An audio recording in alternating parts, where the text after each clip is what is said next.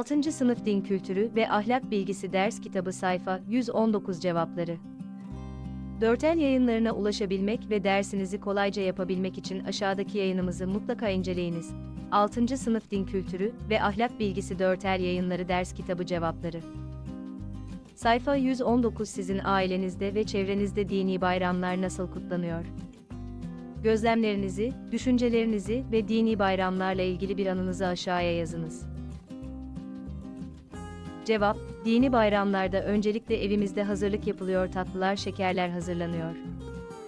Bayram sabahı ilk olarak camiye gidiyoruz namazdan sonra bayramlaşıp evimize geliyor ve daha sonra akrabalarımızla komşularımızla bayramlaşıyoruz.